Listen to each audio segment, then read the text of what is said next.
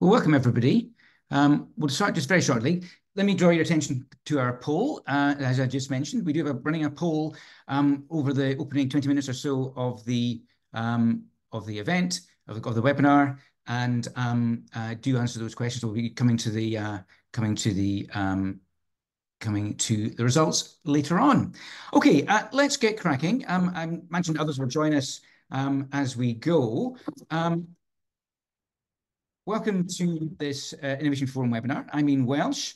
I'll be your host for the next hour or so. Today, in the latest of our big debate series, we're going to be considering the European Union's deforestation regulation. The EUDR has been designed, of course, to prevent deforestation-linked commodities and products from entering the EU market, and in doing so catalyse a much-needed reduction in deforestation on a global scale. With the regulation coming into full effect uh, at the end of this year, some have raised concerns that smallholder farmers who supply a significant share of targeted commodities will lack both the technical and financial means to comply. With fears that businesses may choose to remove smallholders from EU supply chains under current rules, millions of farmer livelihoods could be left extremely vulnerable.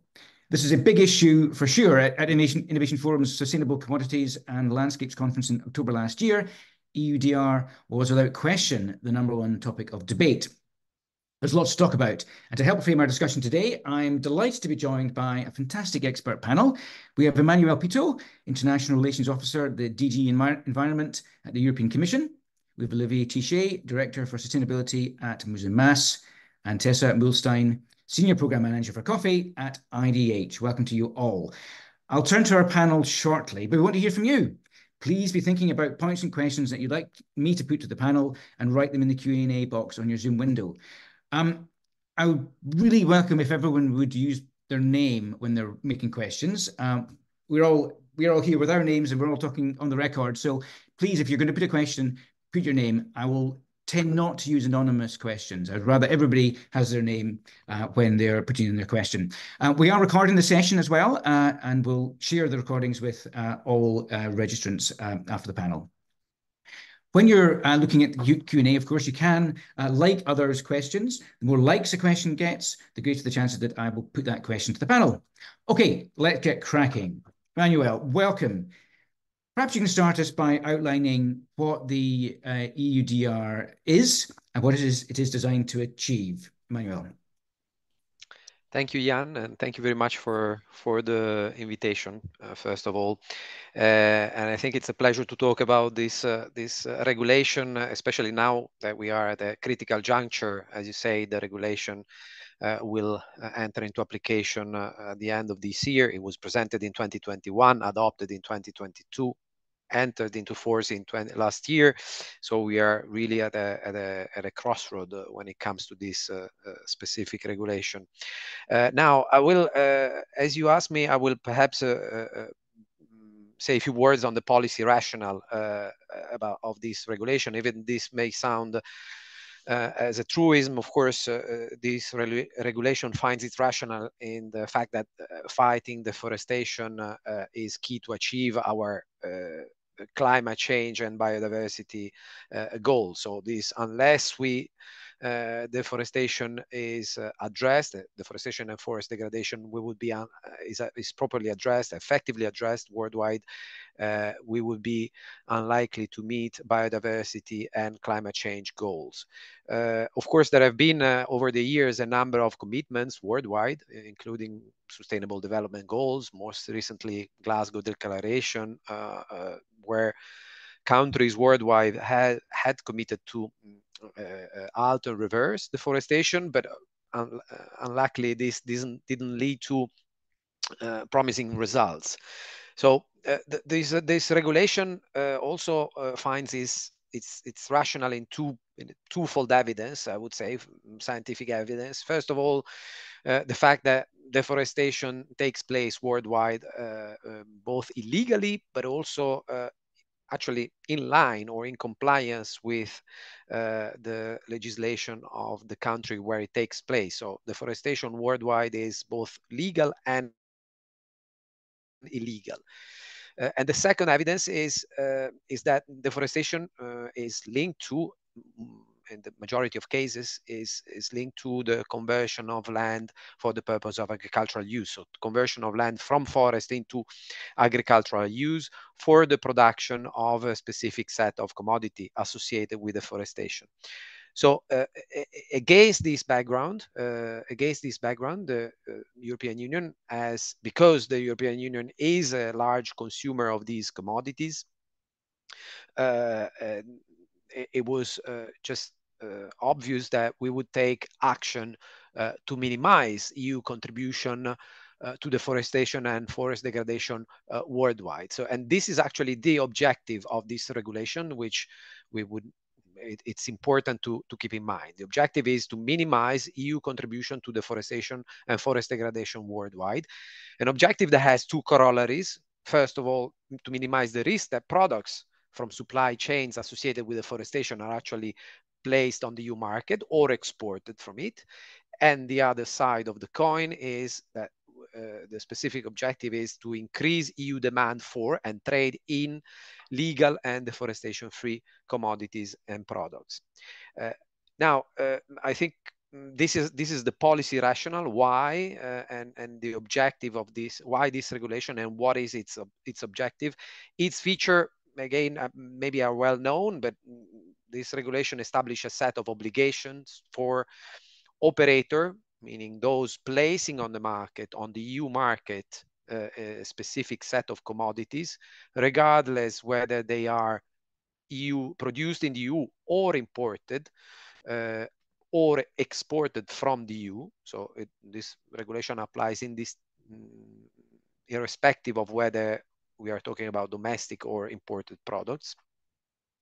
Uh, an obligation of uh, for operators placing on the market uh, these these uh, set of commodities and these obligations are due diligence obligations uh, to prove actually that uh, the the commodity or the derived product are legal and deforestation free most typically the deforestation free requirement will be proved through the provision of geolocation meaning where the specific commodities has been uh, produced. Uh, I, I, am aware that this is a super short uh, resume of what the regulation is and what it's trying to achieve.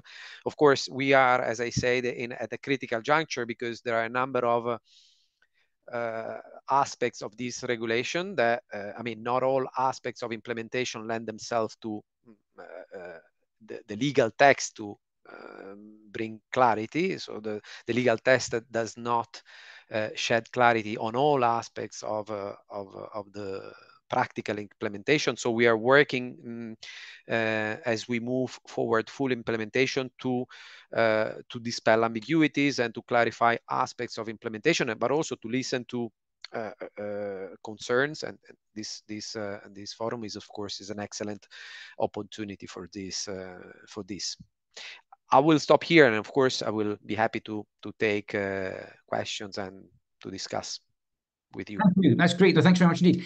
Perhaps you could just outline what's the timetable then from this point? Um, the regulation has come into effect, but its full impact is until the end of the year. Just perhaps just talk us through the different time, you know, the different signposts along the the, the time timetable. The regulation was uh, entered into force on the 30th of June 2023.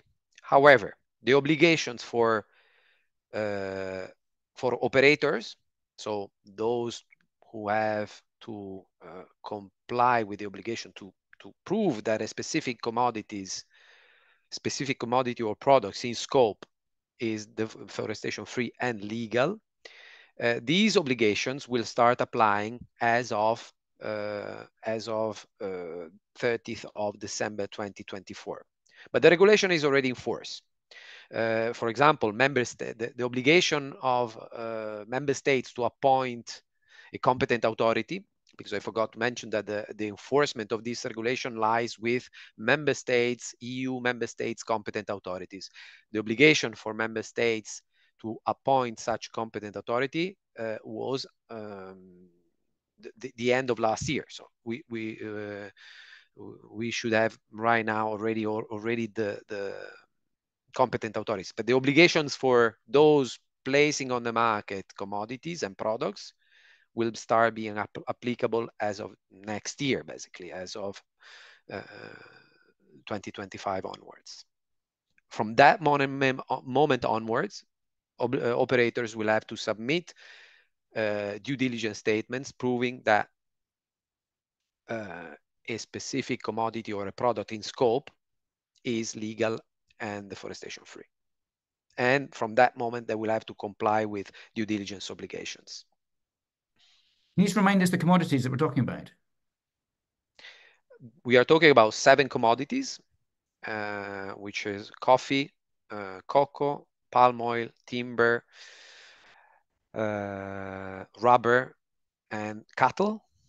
If I always forget one, uh, and a list of derived products which are uh, used, which are made using these commodities. The list of derived products, uh, typically uh, furniture for timber, uh, tires for rubber, uh, chocolate for cocoa, is included in Annex 1 of the regulation. So we have a list of HS code, uh, customs code, which pinpoint exactly which derived product are in scope. Yeah, I think soy is also on the list, isn't it? I think that was soy. Yes. Yeah, I, I always forget one. yeah, absolutely. And just final final question uh, for now. The what are the um, sanctions that uh, will come in uh, on the 30th of December? Well, uh, the sanctions uh, and the penalties are in the remit of uh, of member states. So um, and this is member states, uh, EU member states are very jealous about this prerogative. So we, we had uh, established, uh, I mean, penalties have to be dissuasive, proportionate, proportional, and effective. Uh, it's up for member states to achieve this. One of the, maybe I forgot to mention one element, this regulation, of course, is supposed to repeal and replace a previous regulation which was focusing only on timber and which was focusing only on illegal timber, uh, which is this was the timber regulation. Now, uh, one of the evidence uh, of the evaluation of this timber regulation was that there was a, a broad discrepancy in the level of penalties in the EU27. So one of the lessons learned was uh, to, uh, and I think we have achieved this, to have a, a, a, more a, a, more harmonious set of penalties for uh, operators and traders that would be in breach of this regulation. But the typology of penalties, of sanctions, is within the remit of member states. It can be administrative sanctions or even criminal sanctions in the most uh, serious uh, uh, uh case of breaches. Okay, that's great. Thank you very much indeed for, for a comprehensive outline of, of, of the regulation and, and other implications. Thanks also everyone for your questions. We've got loads of them already. Uh, do use the upvote function. I will be going for the questions that have got the most upvotes, the most uh, the, the, most popular. Um, but please keep them coming, and we'll get, turn to them shortly. Uh, Olivier, welcome. Musim Mas, uh, one of the biggest palm oil businesses in the world. Obviously, palm oil is within scope of the EUDR. Um, Perhaps, Olivier, reflect a little bit on what you've heard from Emmanuel, but I'd be keen to hear from you what the challenges are that you're finding in terms of how EUDR will be implemented. I mean, I would imagine that the law of unintended consequences will be firmly in play. Olivier. Thank you, Ian, and uh, thanks for having us uh, in this in this panel.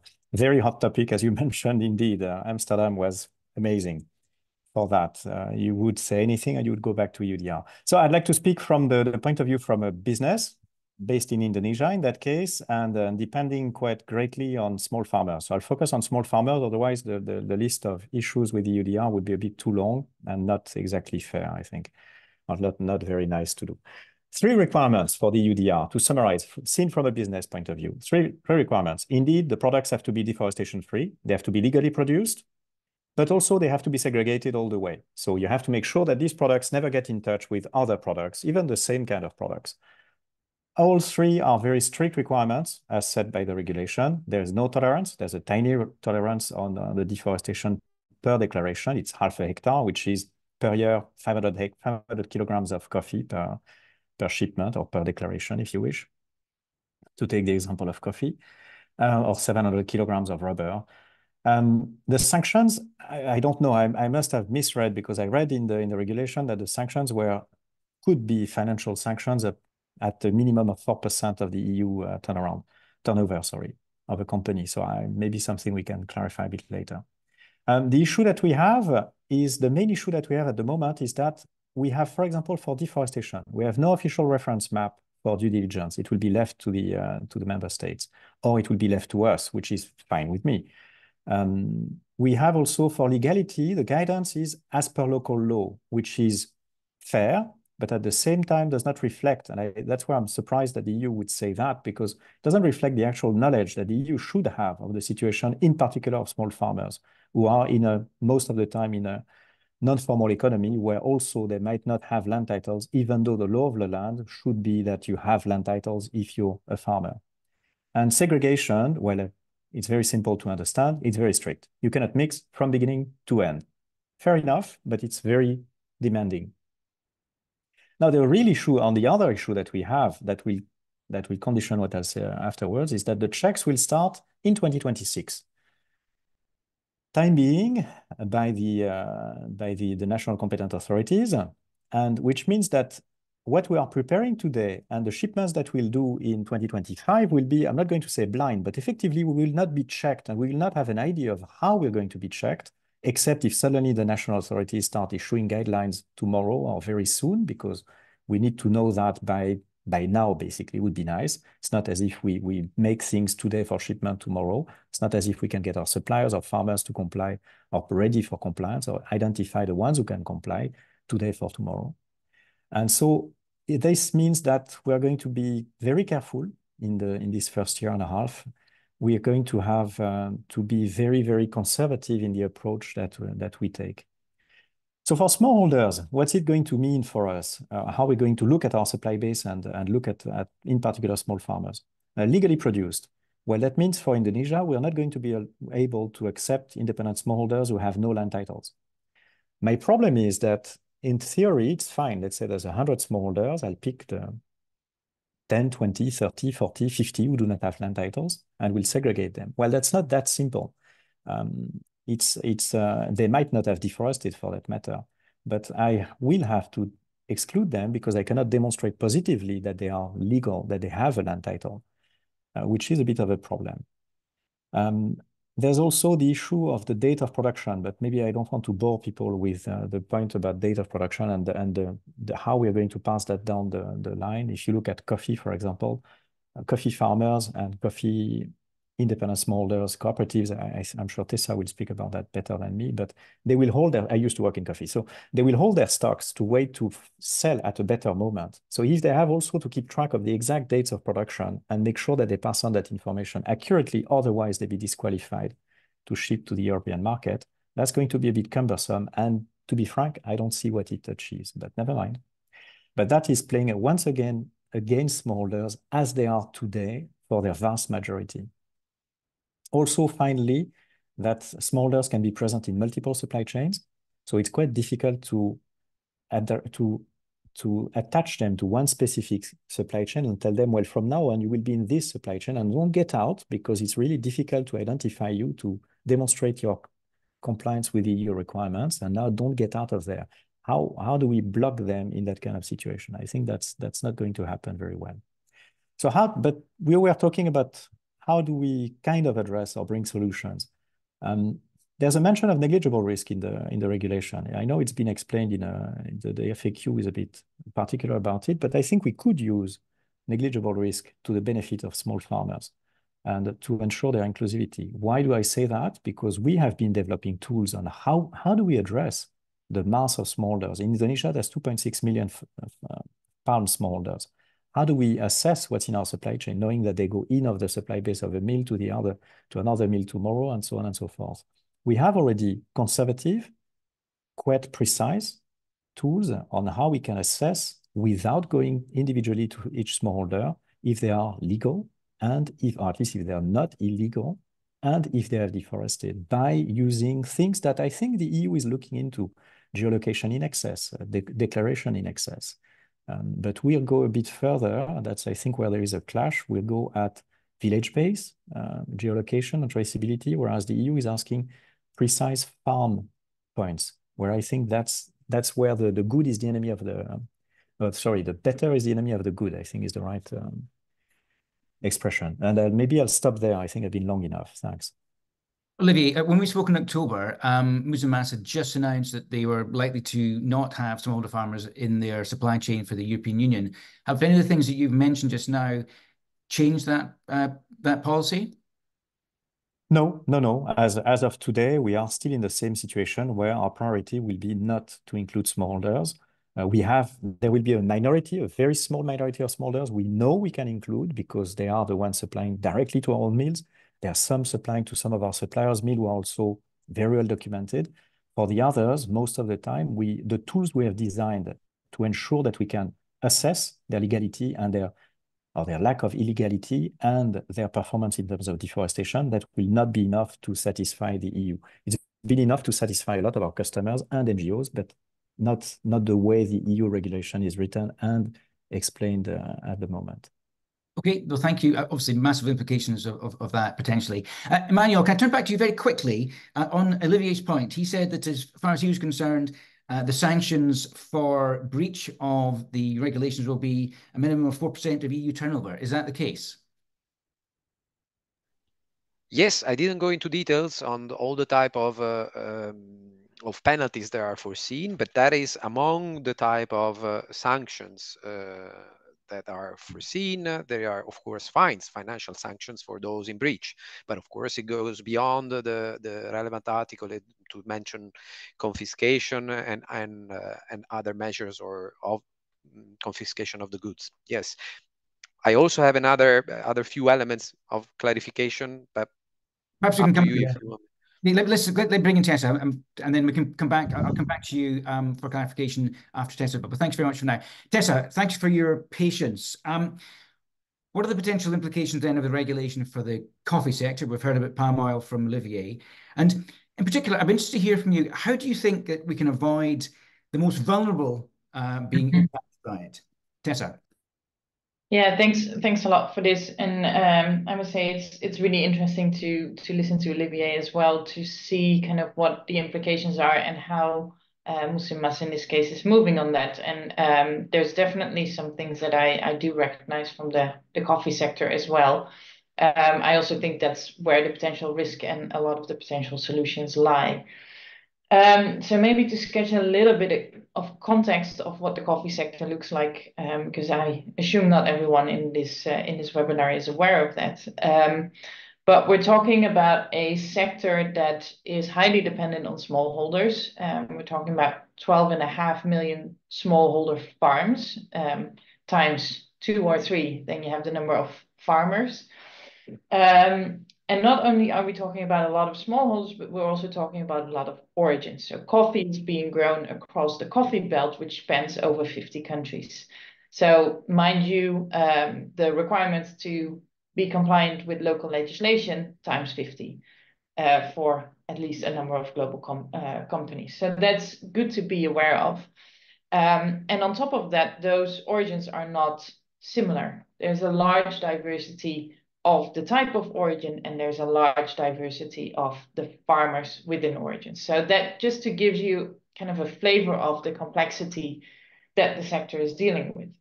Having said that, I do believe that the legislation is a good thing. I do believe the goal of the legislation is a good thing. So that means that we need to think about how do we address this holistically, right? How can this be addressed um, within the spirit of the law, understanding and not downplaying any of the complexities um, that we've just heard.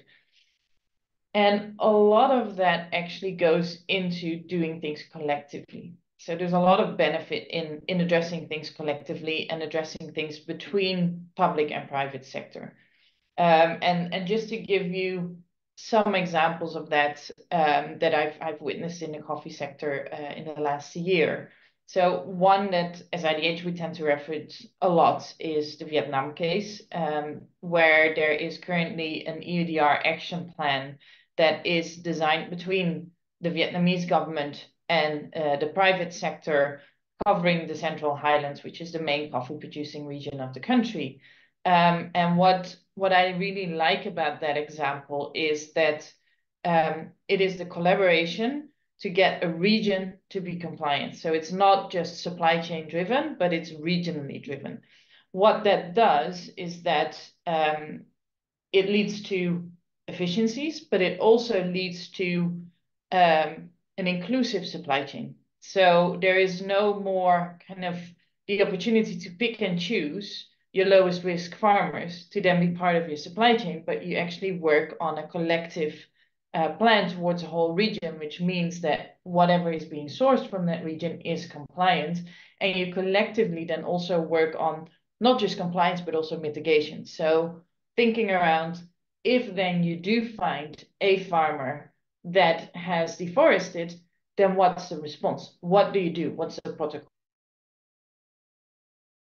So it allows you to move away from um, a supply chain approach to regional approach, which leads to potentially larger inclusivity, at least uh, inclusion of your higher risk farmers, but then also a collective protocol of, of mitigation. Um, and I think that's really strong. In all openness, Vietnam, I would say, is probably ahead of most other origins that I've seen. And uh, a large part of that is the existing efficiency and the existing visibility within the supply chains in Vietnam compared to a number of other countries. Now, having said that, um, we also see similar kind of initiatives happening in other countries where the supply chains are more opaque. Um, none of those are to the level of maturity that the one in Vietnam is, but really I want to emphasize the opportunity that's there for collective action while understanding that there is this hard deadline, right? So, um, and that takes the form of, in some countries, it is uh, public-private. In other countries, it's different private sector parties coming together, but then saying, we are willing to offer whatever mapping data and traceability data we have to a government institution to then be complemented with whatever is out there from the government institution. Um, what is crucial is that that's being done thinking about kind of a, a time approach. So what is needed to be compliant now? What is needed to build that inclusivity that I was just talking about? And what is needed going forward to then uh, build your mitigation strategy, not only for EUDR, but also for the CS triple D that's on its way, for example. Um, so I really want to vouch that, yes, it's complex. We all understand that. We all know that. Yes, there is an absolute risk, and we see this happening, of exclusion of smallholders. Um, there is also a risk of um, inefficiency in your supply chains. Having to segregate your supply chains has a big impact. Going in collectively, even though it might take longer, and we understand you have to be compliant by the end of this year, or actually in many cases now, if you want to be able to import by the end of the year, the longer term perspective um, means that working together is probably still your best option, at least going forward. Um, so I really want to want to emphasize that. And um, I said, I think Vietnam is a really interesting case to look into. Thank you, Tessa. Um, is there a risk that EU markets will be sh significantly short of coffee next year? Will I get a cup? will I get a cappuccino when I visit Paris? Um, I would not think so. To be fair, I think the risk is more on the other side. I think um, there will be a number of origins that are significantly short of demand from the EU market. Um, so I think there will be a shift in where you source from, at least on the short term. Um, and there, as mentioned, there are origins where um, the supply chains are clearer. The number of smallholders is smaller. The risk on deforestation is lower. You will see that from those origins, much more will enter the European market, at least on the short term. That, however, on the long term is not a good thing necessarily for the coffee sector overall, because that also means that probably most of the investments will go to those origins, while the actual diversity of origins allows the sector for now to have the range of flavor profiles that's out there um, to be more resistant against weather events that we've seen over the last years. So for the overall resilience of the sector, it's not a good thing if all investments go to two or three origins. Um, so there is there's a larger bit at stake there as well. next to, mind you, all the smallholders within those origins, of course. Okay, thanks very much. Great point that. Um, and but thank you very much indeed. Um, I'm enjoying watching the race to the top on the Q and A uh, uh, Q and A uh, box. Uh, Benjamin French, looks like your question will be asked very shortly. Emmanuel, I wanted to go back to you. You had some further points of clarification you wanted to make, and I welcome any comments you have following up from Olivier and Tessa's uh, remarks. Uh, thank you, Jan, and, and, thank you, Tessa and Olivier, because it's it's a, it's a very uh, rich debate. Just a few elements of of, uh, of rectification. Uh, first of all, the regulation will enter into force at the end of this year, so competent authorities will have to carry carry out check as of next year, not as of, uh, as of uh, 2026. So the regulation is fully for fully enforced and applicable as of next year, not as of uh, 2026. Secondly, on legality, uh, I would like to uh, shed some light. It doesn't mean that uh, each and every uh, smallholder needs to uh, provide proof of the land title for, for its land. The, the, it's nowhere in the regulation, but we we know that the oftentimes there is uh, deforestation is associated with phenomenon of uh, land grabbing. So the and but this is boils down to a risk assessment. In some situations this is highly more probable than, than in other in other locations. And this is where it's the obligation of the operator to carry out to carry out due diligence to obtain information that uh, the, the product is actually legal. But it, it, doesn't mean that each and every smallholder has to provide the land title. So just to be crystal clear. Date and time of production.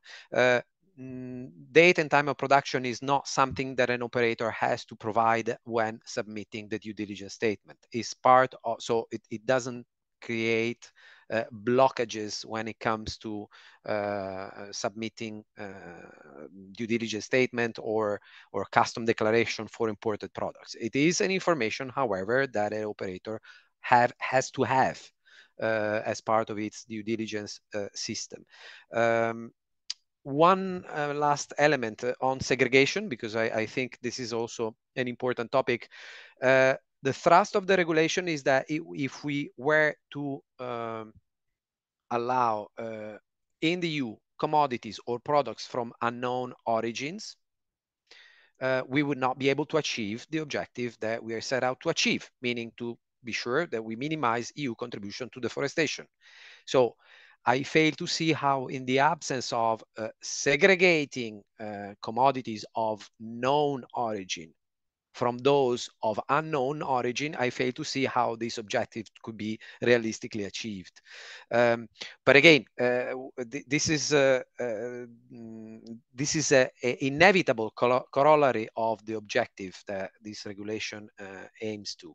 Um, we can discuss then about declaration in excess, and and I am overall, uh, I think it, what is important to acknowledge is that. Um, there are indeed many initiatives that this regulation, even before entering into application, but uh, as set in motion, uh, be it in Vietnam or in other in other countries. And I think both from the public sector and the private sector, I think this witnessed to the fact that uh, in the absence, uh, it, it is really necessary to work on the demand side of uh, given these these commodities because um, otherwise voluntary commitment or supply side measure uh, they would have a, it, it, it's hard to gather a lot of traction merely on the basis of a voluntary commitment. And i think it's the evidence that despite voluntary commitment in the last few years uh, deforestation has not halted nor uh, reversed.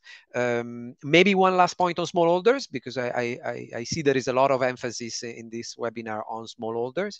Yeah, um, please uh, I we of course we acknowledge that there is a, and there may be a challenge in some situations.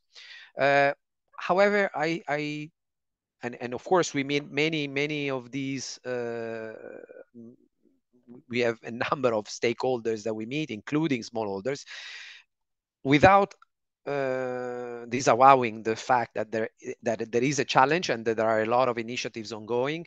I think we also ha uh, receive a more nuanced picture insofar as uh, truly smallholders in uh, in some situations at least acknowledge the importance of uh, to sum up, transparency on the supply chain, because this is uh, shedding transparency would allow them to uh, to cut a lot of uh, um, middlemen, so to speak, and to have more likely a fairer income for their for their product. So to to have more uh, geolocation is is a byword of transparency, and transparency over the supply chain, I think, would be ultimately to the benefit of of, of smallholders, not always to their detriment. Okay, Thanks, Manuel. Now, let's turn to our questions. Thanks very much, everybody. Um, Benjamin French, you have won the uh, competition to be the first question asked um, with more likes than anyone else, but thank you very much indeed. What I think I'll do here, a lot of these questions are really going to be for Emmanuel, um, but what I, Olivier, Tessa, if you want to comment, just raise your hand and I'll bring you in um, after Emmanuel has answered. But inevitably, there are some questions that are aimed uh, most, most specifically at Emmanuel. Tessa, I will bring you in, in a sec. I do want to get to our first question. Right, Benjamin French's question. Um, and he's been picked just at the end, but I'm going to ask it anyway. Uh, does the EU Commission have a plan for approval of verification bodies that can provide the evidence for zero deforestation with methodology aligned to the EUDR policy? Emmanuel. The letter of the regulation is clear when it comes to certification and verification body. And it's, uh, as such, uh, there would not be any change in principle to what the to the role that uh, certification uh, uh, played in the in the EUTR. Certification mechanism can mm, provide a, a, a, key role in the risk assessment of, of an operator. Uh, however, they have to uh, provide the information that an operator has to uh, has to collect. So they can play a key role insofar as they support the operator to uh, collect or to have the information that an operator has to provide, most typically geolocation. So there will not be any green lane for a certified product, uh, be them public or mm, private certification. Of course, there may be uh, a repository of good practice, uh, etc. But any there, there won't be any certification scheme that will dispense operators from their duty and obligation, due diligence obligations. Thank you. Um, I had forgotten about our poll. Um, perhaps could one of my colleagues just uh, uh, present the results, and we can look. They can have them on screen as we and we can look at them as as we go. Um, okay. Uh, hopefully everyone can see them. Okay. Um, uh, Catherine Halley's question, similar one to to Benjamin's question. How will the EU competent authorities align on their maps and assessment of deforestation so that the industry has some form of alignment on verif verification methods? Emmanuel, do you want to comment specifically on maps? This is something that Olivier mentioned as well. So, sorry, what is the How are you going to align on your maps? How the mapping? Uh, Catherine's questions around how will you align on maps and assessment of deforestation so that there's alignment on the methods? Uh, look, on on maps, um, as you may know, we have a, a, a, deforestation mm, platform where we present a lot of uh, work on our on the different work strands leading up to the, the, the, implementation of the regulation. One of these is the EU Observatory on Deforestation, which was presented uh, uh, last December and which was already online. Uh, the observatory will provide a forest cover map dated as uh, to the cutoff date. I forgot to mention that we are looking at deforestation occurred after 2020, after the end of 2020. And these maps, this forest cover map, uh, will allow any operator or competent authority to answer to these very clear questions.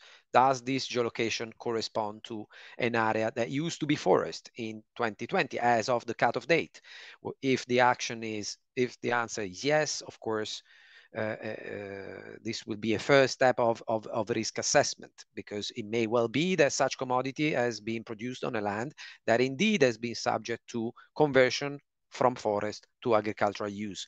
But this, uh, it's important to uh, state that these maps from the observatory, EU Observatory on Deforestation, which is developed by our colleagues in, in the Joint Research Center, are these maps are neither mandatory, so there is no obligation to use these maps.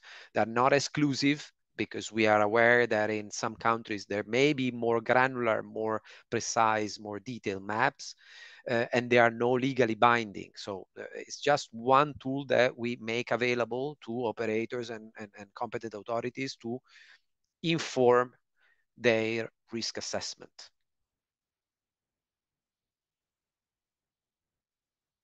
Thank you very much.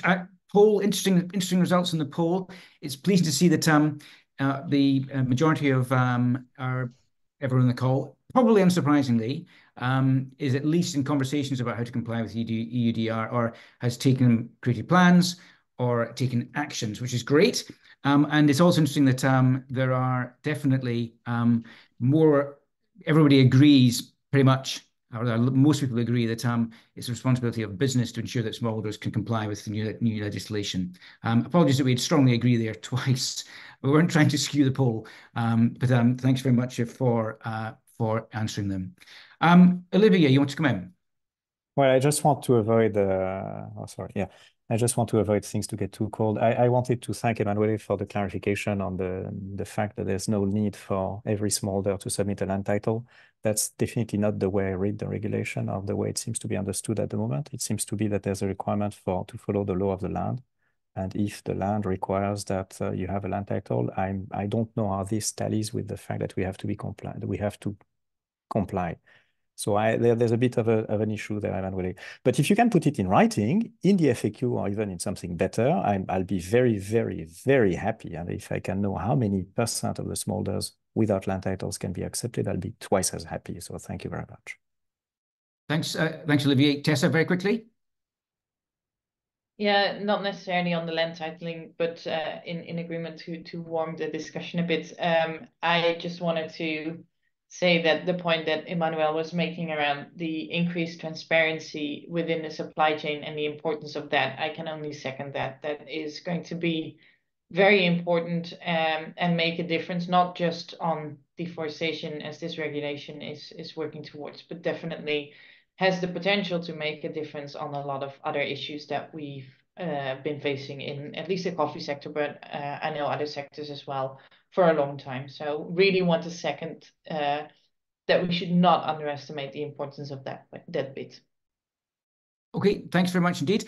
Um, next question from uh, our audience, um, Penelope Chusay, or Chusat's question. Um, she asks, how far does regulation look into supply chains? And she gives an example. Would beef from a zone of the EU that has not been deforested, but has been fed with soy from a potentially deforested area in South America be considered compliant or not? Emmanuel. Emmanuel, you're on mute, I'm afraid. Sorry. If um, if soy is imported uh, um, into the EU uh, at the import, any uh, the information information about the deforestation-free nature of such soy uh, would have to be provided. So um, any uh, farmer in the EU will have to uh, have that information, of course. And I guess that uh, going forwards, the soy would not necessarily, or the derived product would not get into the EU if there was a risk of deforestation. Precisely. But presumably, if there is pre 2024 uh, um, derived products, then that would be within scope. Pre 2024. Well, so if if, if, I'm a farmer if, and I buy an load of stuff this year, I can use it next yeah. year. Yeah, of course, because yeah. at the moment uh, the the um, the commodity has entered into the market, uh, it didn't need to comply with the obligation of uh, of having um, geolocation requirement of, of, of being accompanied with by uh, geolocation information. Okay, and we have a follow-up question about compound feed. Is compound feed included in the uh, scope of the regulation? I guess it will be. Uh, um, derived product, yes. I'm I'm not sure I know exact. I mean, the list of of, of derived product is in Annex One, so I'm, I okay. don't know it by heart, but one may check whether this corresponds to an HS code in Annex One.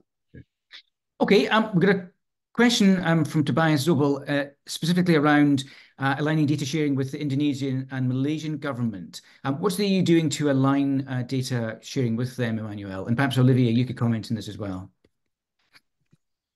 Well, on on this, uh, uh, of course, um, we we this regulation is uh, one part of the of the of the jigsaw. So it's not in itself the only tool, and we of course, we acknowledge that this has to accompany, and the regulation itself acknowledge the need to work and step up cooperation with uh, with third countries. This is what we are doing. We are doing that also with Indonesia and Malaysia, specific for a number of issues uh, and for a number of, uh, uh, of, of topics, including this one on, on, on the data sharing. We are discussing. This is one of the topics uh, of this uh, of the task force we are currently entertaining with Malaysia and, and, and Indonesia, alongside with other uh, topics, of course, including uh, the smallholders. But the, the, this is an issue that we are currently discussing with the authorities there. Thank you. Uh, Olivier, do you want to comment, given Musim Mas, of course, significant operations in, in uh, that part of the world? Oh, well, I, I think it's uh, the, the question and the answer are, are speaking uh, a bit for themselves. Yes, there's a lot of need for the uh, for collaboration, for better collaboration with uh, with uh, the production product producing countries, and definitely Indonesia, Malaysia for palm. I think, look, I I'm sorry, I'm the bad guy tonight, but uh, I will say that one of the biggest disappointments, if I can speak from an Indonesian perspective, I mean, I've been here long enough, maybe I can claim a little bit of, uh, of Indonesian uh, perspective one of the biggest disappointments was on the scrapping of the EUDR, of the EUTR, because if there was one country where it had been working, it was Indonesia. So it was a good place on which to build in. And the, the, the preparatory documents for the EUDR specifically say that it worked in Indonesia, but because it only worked in Indonesia, we're going to scrap it altogether. I think that there's, there was a bit, a bit of a missed opportunity there. And there's today still a feeling that we could have built on it, use some of the tools it had created, be a bit more inventive. I mean, nobody is against the EUDR in as much as what it wants to achieve, rather the opposite. But we could have been, I go back to what I said during my little intro, which was, eh, come on, the EU should have known better. There's been a lot of work done already by the industries, by the countries, even between the EU and certain producing countries. We could have started from a slightly different point. So that, that's all I'll say. But like I say, sorry, tonight I'm, I'm apparently the, the, the bad fellow, so that's all right. Olivier, thank you. Um, okay, quick question now, um, Manuel. I, what's the threshold at which events are considered deforestation under the regulation? Our questioner, Frederick, asks, is deforestation of less than half a hectare, for example, classified as deforestation event? Or, or is there a threshold? And how's it, how's it defined, Emmanuel? Uh, I will have uh, then to be an, to play the if you allow me the the bad guy on the other side because uh, I, I need to rectify a bit what Olivier has said. Insofar as yes the EUTR has been replaced but the FLEGT regulation has not been replaced. So the the uh, the, the, the regulation which is the the I mean, the, the, you know, there was a, uh, certification schemes for timber, and and this will not be replaced. So uh, timber coming from Indonesia uh, accompanied by a FLEGT certificate will continue to be to enter the European Union market. And so in that regard, I think that tool will remain in force and will, will not change. Um, there were other considerations uh, that led to the replacing of the EUTR, but simply the fact that it was not possible to have a number of bilateral, uh, uh, to multiply by seven and by number of, uh, of countries worldwide, the, the, the, voluntary partnership agreements and the FLEGT, uh, FLEGT license, let alone the fact that out of the major timber producing countries, only Indonesia proved to be mm, interested and to actually move to the certification phase. On the other question, I think, um, uh, well, the, the, we using the, the, the, definition of deforestation is uh, the one that is uh, we on, on the definition of deforestation, but also the other definition of what is forest or what is uh, um, I mean, there are a number of deforestation on which we of a number of definitions on which we have relied uh, on on FAO definitions, including the one on deforestation and the one on forest, uh, which uh, of course, if if if there is then a forest, in, in, and the forest is defined exactly as uh, in in Article Two, as long as a, a, a forest is, uh, I would say, uh, concerned, uh, it doesn't matter the amount of deforestation within that forest. Uh, otherwise, one could could gradually deforest a smaller amount of less than half an hectare and, and this would not be uh, this would not amount as deforestation so as long as there is a forest and it's defined as land spanning more than 0.5 hectares any um, encroaching on that forest uh, would qualify as deforestation insofar as it qualifies as conversion to from that forest into agricultural use. Huh? We are not looking at other types of conversions. We are not looking at conversions into commodities other than those in scope. Okay, but but if anyone wants more information, they can go to the FAO uh, definitions. Um, Olivier, Tessa, you both want to come in, please, very briefly. Tessa? Yeah, I just quickly wanted to reflect on kind of the relationship between the different countries and building on what's already there, right? Um, I do think there there's some important uh, things to consider, um, and this is definitely something that plays a lot in the coffee sector as well. So um, I would say there there are a few things. So one is what's the role of of the EU and the EU delegations in country, but then also what's, for example, the role of the International Coffee Organization representing basically all governments from coffee producing countries. And I feel there can be more more discussion, more conversation, and more tangible outcomes. I feel there's a lot of unclarity right now on who picks up what role. And to go back to the initial point of how do you collaborate, I think also there it shouldn't be a matter of public sector and private sector within country only, but also what's the overall um, commitment that we make to this. And um, for me, the same would go actually for private sector, right? So we do see a move of origins where uh, coffee is being sourced from, we do see already uh, contracts in Ethiopia not materializing just because of the risk that there won't be compliance. However, what's the sector commitment to a diversified sector and therefore to investing in those origins as well? So I do want to put in a quick call out that yes, there is a lot that we can build on, uh, and yes, I do believe there can be more action towards that common vision and that common sharing because we're all benefiting from a stronger sector and from deforestation-free supply chains. So I think I really want to put that frame in and not forget that, yes, in all the complexity, there is a larger vision that we need to uh, follow. Thank you, Tessa. Olivier, do come in, but just very briefly, please. I do want to get... Very briefly. Yes, very briefly on the EUTR. Again, I would like to thank Emanuele for his uh, interpretation of the regulation, but I think the regulation itself is very clear. EUTR is being phased out.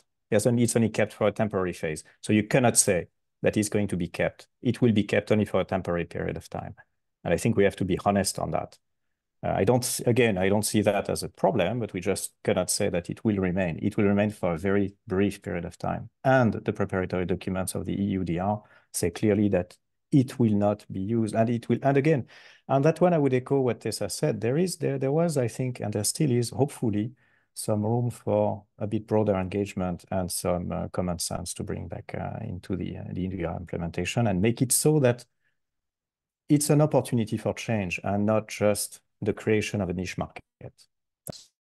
Okay, thank you. Um, got a very specific question, uh, Manuel. I'm sorry, back to you. Um, Question about Ivory Coast and Ghana, cocoa companies are not allowed to have contractual relations with farmers.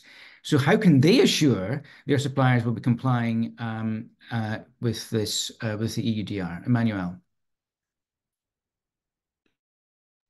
Can can you repeat the question, Jan? In Ivory Coast and Ghana, cocoa companies are not allowed to have contractual relations with farmers. How, in that case, can they ensure compliance with EUDR?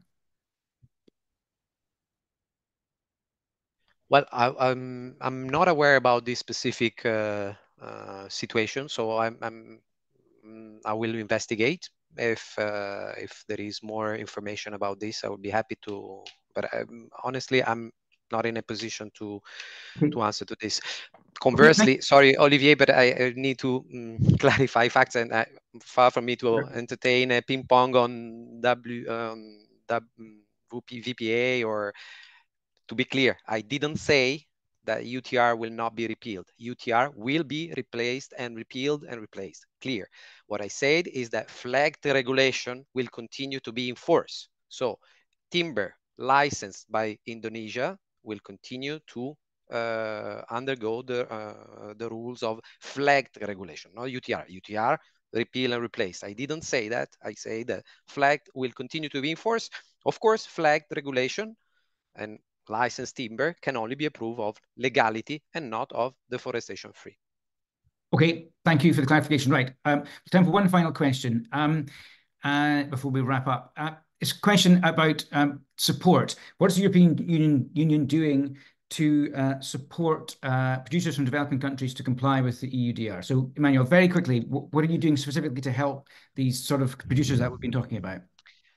It's very difficult to, in a succinct way to provide an outline of what we are doing uh, from Team Europe initiatives to um, project uh, worldwide from a traceability uh, project for soy in, in Argentina to uh, um, inventory of geolocations for rubber in Thailand, uh, uh, cocoa and coffee, of course, also in African countries, Ghana and Cote d'Ivoire. uh, and of course entertaining dialogue with uh, producing countries in the public sector what we can i mean there is a panoply of uh, tools cooperation programs dialogue but oftentimes what we see is that they do not necessarily always systematically need EU funding.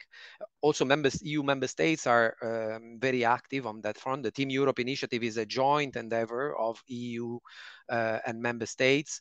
Uh, but oftentimes we see uh, countries rolling out a traceability platform uh, with or without European Union support, but because this is a change induced perhaps accelerated. It would have been there anyway. Uh, I would say that perhaps the regulation has accelerated the pace of a sustainability trend, uh, traceability trend that was already there.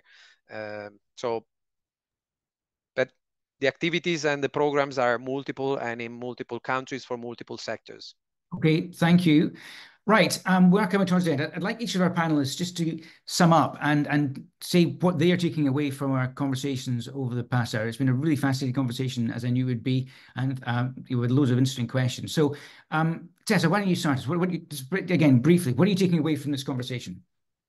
Yeah, thanks a lot. Um, well, I think the first thing there, there's still a lot of questions, still a lot of unclarity. Um, I do hope, and I, I think we did bring some perspective to the discussion, um, and really want to end with there. It brings a lot of opportunities as well, as long as we can look beyond the compliance and think around uh, the larger uh, context. So, um, lots will need to be clarified, but definitely plenty opportunity to do this well if we take the right action now. Thank you, Tessa. Olivier, just briefly, briefly, please. Thanks, Well, Echoing a bit uh, what Tessa said, I do believe uh, there, there are a few opportunities there. I'm worried of the fact that this time the Brussels effect might not take place and that uh, we, again, we're going to end up with a niche rather than end up with, uh, with a broad change. That's what I'm worried about. And most important, I think that was the theme for tonight. What worries me is that some smallholders will be definitely put at a disadvantage and actually excluded from EU supply chain, while the industries that, uh, that uh, to which they are linked were progressing and had devised ways which were quite practical to deal with, uh, to keep them included and keep them progressing. Thanks. Thanks, Olivier. And Emmanuel, final thoughts? No, thank you first of all for for for the opportunity. I I would echo what the what the what has been said that the the the, the work ahead uh, is still significant. Mm, we are aware that there are a number of practical aspects of implementation that are uh, that needs to be dispelled. We also aware that uh, there are a lot of narratives that need to be rectified uh, and we need to dispel ambiguities or factually inaccuracies in some cases.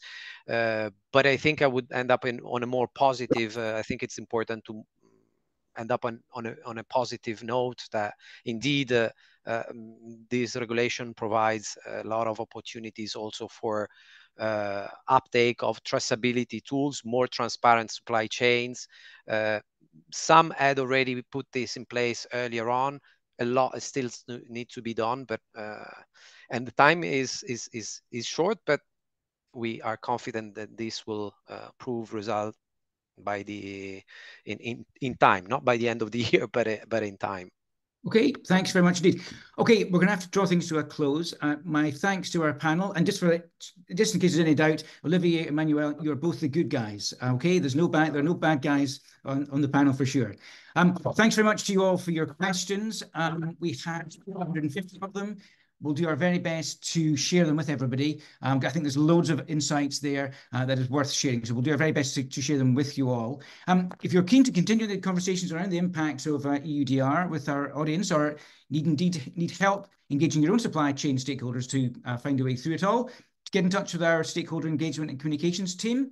We convene these kind of conversations to generate actionable outcomes. My colleague Tanya Richard, Innovation Forum's head of stakeholder engagements, her uh, email address is on the uh, on the slide right there. Full details of our event series is also available in Innovation Forum website. We'll be covering the ongoing implications of uh, the EU's deforestation regulation at our future food events in the coming months and at this year's Sustainable Commodities and Landscapes event in October. Uh, we'll be back in touch with everybody in the next few days because we'll be sharing the audio and video recordings of this webinar so you can watch again if you wish to or share it uh, with your colleagues. For now, I hope you found this webinar useful. I've really enjoyed bringing it to you. I've been Ian Welsh. Thanks very much indeed uh, for joining us and goodbye.